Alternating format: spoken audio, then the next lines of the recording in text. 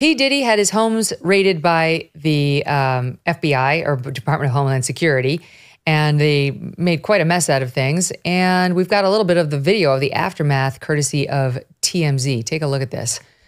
Quite a scene. I, th- this is the, uh, look at this heart of his home. And reportedly, they went to town on all of his hard, dri- hard drives and computers and so on. I mean, every computer, every uh, door, every cabinet open, a mess is made. Um, those hard drives are going to be important.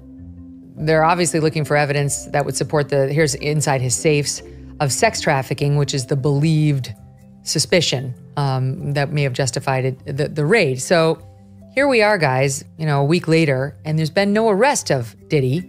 How long does it take to search the hard drives? You don't think it's weird that they don't have a case just because they haven't arrested him yet? Yeah, I, that's basically what Mark said is standard operating procedure. I mean, that's the difference between local prosecutors. It's like, you know, robbers and bank robbers and thieves, and, you know, they kind of grab them and then they figure out the evidence is.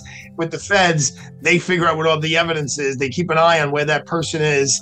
And, uh, you know, they don't make an arrest until, I mean, they have a 97% conviction rate or some crazy number like that because they don't put the handcuffs on someone until uh, they feel that there's no way they could win.